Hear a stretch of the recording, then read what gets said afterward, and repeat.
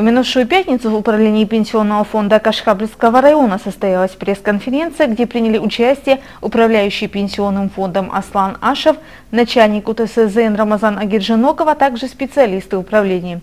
На конференции был рассмотрен закон, вступивший в силу с 1 января 2018 года о дополнительных мерах государственной поддержки семей, имеющих детей.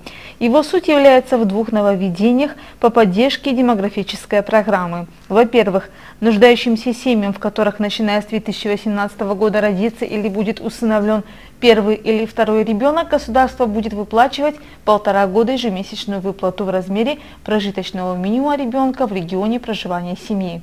Выплата будет осуществляться из средств материнского капитала. Вторым видом поддержки является выплата из федерального бюджета только на первого ребенка, родившегося в 2018 году в размере 9325 рублей до достижения им полутора лет.